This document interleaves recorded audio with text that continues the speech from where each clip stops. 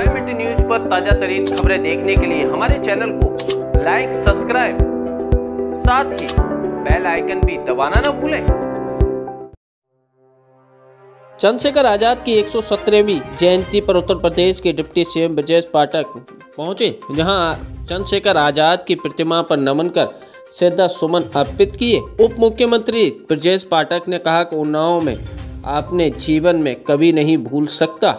आज मैं जो कुछ भी हूँ, वो सब उन्नाव वासियों का प्यार और आशीर्वाद है।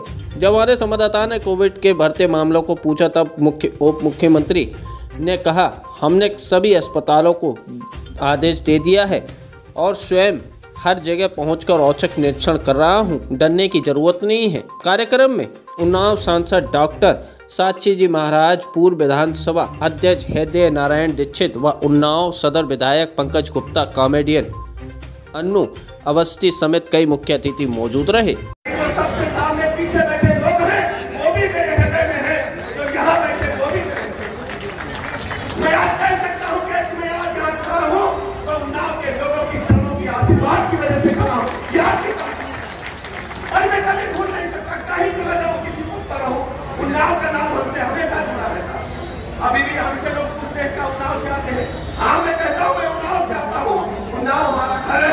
उन्नाव के लोग हमारे भाई बहन है आप लोग